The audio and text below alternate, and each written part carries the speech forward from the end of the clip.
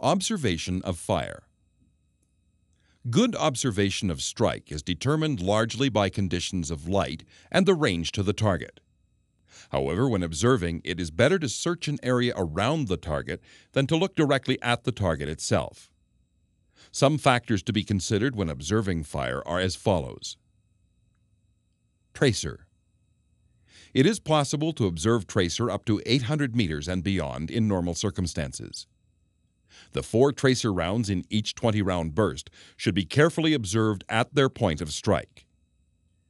If the ground around the target area affords good observation of a strike, check to observe any difference between tracer strike and ball strike. Beyond 800 meters, tracer strike cannot be observed, and the gun controller must watch the strike of the burst around the target area. To do this, it may be necessary to order a burst longer than 20 rounds.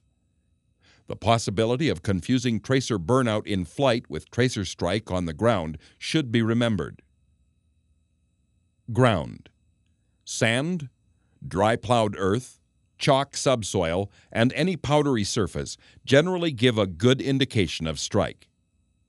However, long grass, rocky surfaces, and undergrowth give a poor indication of strike.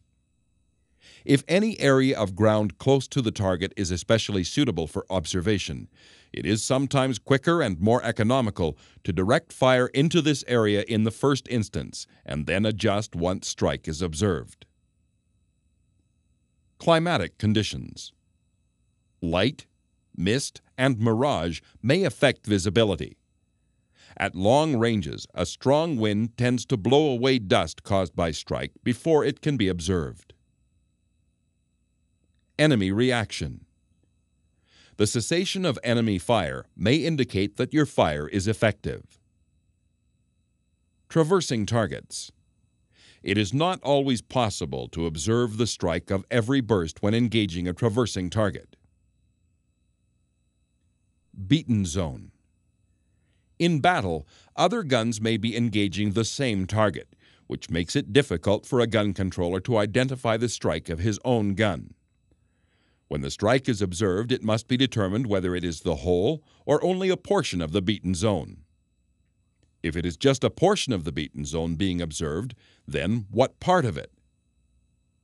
For example, if the strike is observed in front of the target, it may be the near end of the beaten zone falling on the target. Conversely, it could also be the far end of the beaten zone just falling short of the target.